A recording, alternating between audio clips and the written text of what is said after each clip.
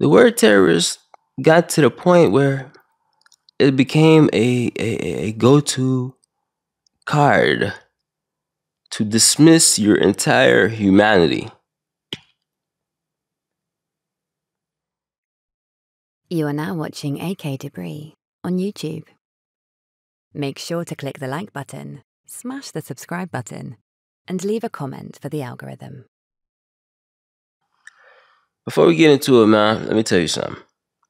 The word terrorist, we will stop using it today and now because it's been misused like a motherfucker. And I'm going to tell you why I get so pissed off at that word. That word, my friend, let me tell you something. The idea of a terrorist that we know today as what it is, you know, the ISIS, the 9 11 people. Let me tell you something about it. Look back in history and see where it started. This idea of Islamic militant groups. Because we associate it with Islam, right? Cool. This Muslim boogeyman that scares everybody today was created by your favorites, you know, the USA.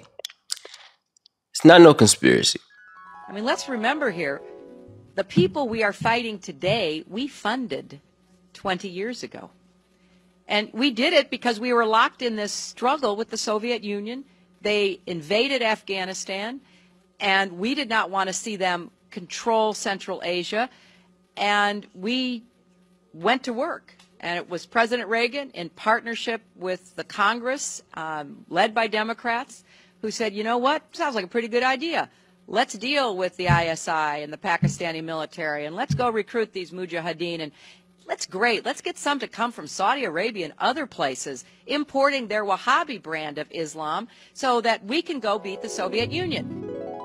I'll tell you guys a fact before I do. I grew up in Saudi Arabia. There's no freedom of speech over there.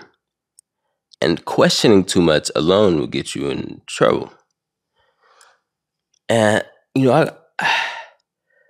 I'm born in 97, so I was like a teenager ish kid. But I remember this, seeing it multiple times, many times. And I never, you know, it never registered in my head till I left Arabia and, and, and dug in and got to ask and look and research. There was a building called the Jihadi Training Center. Jihadi Training Center. It was just a it was a building. It was just like any building. Jihadi Training Center. Okay. It was closed. It looked like it was, you know, nobody's there. It's like one of them old government buildings. You record right? Jihadi Training Center. Hmm. During them years, I was too young to understand what was even a jihadi. What is he training for? What is jihad? None of that. I knew of 9 11. And again, you can tell by my English and my music. I'm westernized. I didn't care. I really didn't like my people. Okay? So, I, I didn't question much. Come to find out later in life that Osama bin Laden, the guy who you know, did 9 11 allegedly, and he did it from a cave in Afghanistan. I found out that he's from where I'm from Arabia. Not only that, I did a whole video about him, which got demonetized just for having his name. Osama bin Laden is the son of a multi-millionaire he was before he went out in the caves, he was riding Lambo, skirt skirt, Corvette, Corvette. he had, a, yeah, he had that type of money. He studied in the U.S., so he liked the U.S. Who radicalized boy? What happened to Osama that's in college? Yo, what's up, bro? Want to party? How did he go from this to caveman 9-11 planning? Well, if you try to ask in Arabia, you know what's up. But in the West, where you have freedom of speech, are you a terrorist sympathizer? Hmm? What do you want to know? Who cares? He's a terrorist. Don't feel bad for him. Ah. But look, I dug in. The year 1979. Afghanistan. They were chilling. Arabia. They were chilling. They were friends with the US. I mean, Sleepy ruined it, but they were uh, allies, always been. And Soviet Union at the time, before it became Russia, it was the Soviet Union. They invade Afghanistan. America's looking at it just like Russia and Ukraine today. Okay, it's like 50 Cent and Ja Rule. They beefing for 30 years. So here come the CIA and the American people, or whoever at the time, and they call on Arabia, and they be telling me, "Yo, look, Arabia, if you did not already know, it is the land of Prophet Muhammad, where uh, it's where people come, it's where Mecca is. So it has this respect and holiness, and it is a holy land. But the government is not holy at all the Saudi government always used Islam and this Holy Land shit in their favor for control. Okay? They kind of ruined Islam in a way, but I, will get to a different video. But for now, listen, understand this. America needs help. They go on TV, on the radio, and the, like banners, um, it, billboards. And during that time, it was marketed and promoted to the Saudi public uh, in a way to trigger their emotions. I'll explain. You see how today Israel is promoting to their people. You see these terrorists, look what they did to us. They hate us. Let's go get them. Uh huh. Same thing, but mind you, there was no terror. They was just showing the people that look at your Muslim brothers in Afghanistan getting done dirty. By who? By the evil, evil Soviets. It is your duty as a Muslim to go and help them out, and you'll be a hero. Mind you, this was helping who? America, the BFF, right? So all of this would not exist if it wasn't for America. You follow me? Cool. So they convince the youth. You know, the youth are when you're young, man, you're more ready for war. They did that to our brothers. I gotta go save my brothers. But Osama, you're a millionaire. Money doesn't matter when my brothers are struggling. That's kind of how I felt last week. But anyway, I'm just trying to tell you a story. So Osama among a bunch of people. Not to mention that the, the, besides that promotion, two other factors. If you went out there, you were marketed. It's like uh, you were made a hero by the government and the people. So like, so like the chicks, for example, you know, everybody want to get a chick, right? Huh? Nowadays, what you gotta have six figures and six feet tall, whatever, whatever they be saying. Back then, it was like, oh, I want, I want a guy who's brave, who go and help. Oh yeah, I'm going jihad for my brothers. Oh, that's hot. You go on the billboards, you see them. Shout out to our heroes, and they had a saying, "وطن لا نحميه نستحق العيش فيه." A country we don't protect, we don't deserve to live in and then the pictures and the music. Oh, our heroes. So, as far as anybody concerned, including America, you're a hero. You're going out there to do heroic work. You're brave. You're respected. America, at the time, gave you the weapons needed and the training to fight off the evil Soviets. And the religious scholars, who very influential always until MBS, they, of course, gave the cosign, the stamp. They said, "Yeah, of course. If if you go in there, help your brothers, and you defend Islam, huh? And you pass away in a battlefield, you don't go to hell. You go straight to heaven. Matter of fact, when you get to heaven, there's gonna be like 76 virgins waiting on you, like, Daddy, you talk talking about Arabia before they let men and women mingle, so everybody's already horny. 76 virgins. Let's go right now. And they went. You see how Israel, they told them have fun. Palestinian lives don't matter. You got the green card, no red lines, as he said.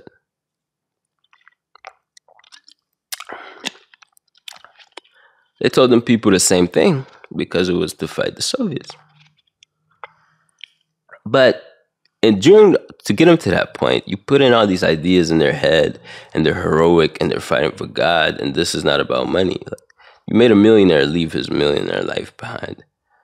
Think about the psychological uh, uh, type of thinking he had. Like this, he left the life of luxury to live in a cave because he believed it's for a good, greater cause. Right? He went there, and I don't know if you think war is like Call of Duty or you think it's like Israel sitting in a plane. Yeah, war is ugly. Traumatized. People you make friends along the way that you see them die, explode, boom, bow. It's a lot of trauma. And uh, think about the mentality of these people. To add to that, when the job was done, America's like, oh, that sucks, buddy. Tough luck. Everybody abandoned them and they pointed all the dirt that they did on them. A lot of them came back before before the dirt got pinned, but a lot of them fell into the rabbit hole and the deep end of this cause that they the same people call them bad put it in their heads let's get some to come from Saudi Arabia and other places importing their Wahhabi brand of Islam so that we can go beat the Soviet Union. And we, guess what? They retreated. They lost billions of dollars and it led to the collapse of the Soviet Union. So there's a, a very strong argument, which is wasn't a bad investment to end the Soviet Union, but let's be careful what we sow because we will harvest. So we then left Pakistan. We said, okay, fine. You deal with the stingers that we've left all over your country. You deal with the mines that are along the border. And by the way, we don't want to have anything to do with you. In fact, we're sanctioning you. So we stopped dealing with the Pakistani military and with ISI, and we now are making up for a lot of lost time. So this is an incredibly difficult set of issues that are all interconnected. So people like Osama, they found they found themselves from gone from respected heroes and the heroes and are we proud of you to most wanted fugitives sitting in the country basically no government that's war torn they're the pretty you know like they sent them it's like i send you to go hit somebody Hey yo, here's five bands. Go hit bro. You go and hit bro, and boom, bro calls the cops on you, and you get arrested. Da da da. And you say, "But AK, you said you're gonna come save me." I said, hmm? "I don't know you. He's a criminal." That's what happened. But again, these people who are so married to the cause, we don't even know if 9 11 there's things about the victims, the, the findings. I'm not saying the courts, but that's when and how the modern day idea of a terrorist began. So when they tell you Hamas equal ISIS, ISIS, my friend, was the remainings of Al Qaeda. which got scattered and dispersed all over the, uh, the globe. Uh, they continued jihad in different avenues and different places. But after what happened in Syria, again, ISIS, you guys are ISIS, ISIS. Listen to me. Syria had a dictator who is put there by Israel. I'll get to it in the next video. This motherfucker that Israel planted on these people, I just want to show you the type of people we're dealing with. He dropped chemical weapons on his own people for going and protesting against them. Yep. Chemical weapons, illegal, on his own people. You think that's crazy? You know what's crazy? Israel put him there, and he is still in power to this very day. And I give you even crazier. He is beginning to normalize relationships again with people. Like, hey, yeah, I drive chemical weapons. I would show you guys a video of some horrific graphic stuff that, would, that he did to people. And he's still in power. 2023, November 3rd. Israel put him there, and it's proven. But if had he not, like when you go protest and people drop chemical weapons on you, and the situation get ugly, like you cannot blame people if they're going for militias, and then here come foreign powers. I back you. I back you. What do you expect? It created a little vacuum where the remains of Al Qaeda, which you created, America, Israel, right? Let's not forget. Come here. They they use this vacuum, they collaborate, they form this barbaric state. These are people fucked in the head from things you made happen. They were born normal people like me and you. If you didn't exist, they wouldn't exist. So let's stop that bullshit. They go and form this Islamic State of ISIS, whatever. They enforced it with the violence that they did. They, you know the story. But again, these were the remainings of Al Qaeda that came. They took advantage of this. Right? Bashar al Assad still here in power. Same guy who dropped chemical weapons on his own people. Thanks to Israel.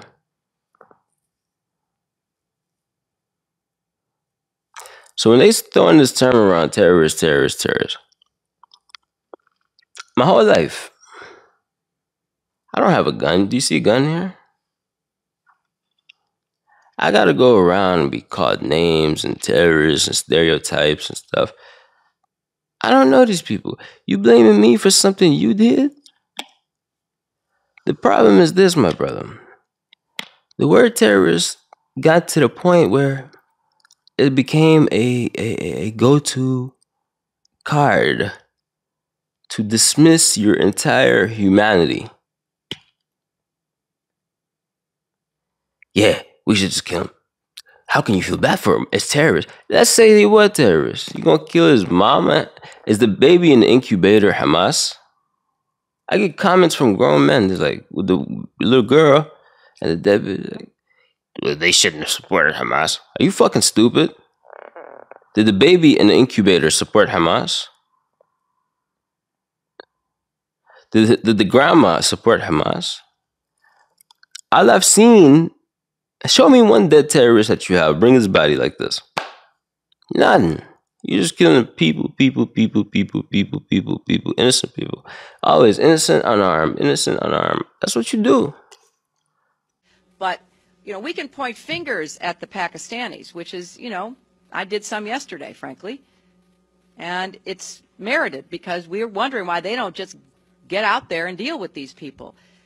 But the problems we face now, to some extent, we have to take responsibility for having contributed to.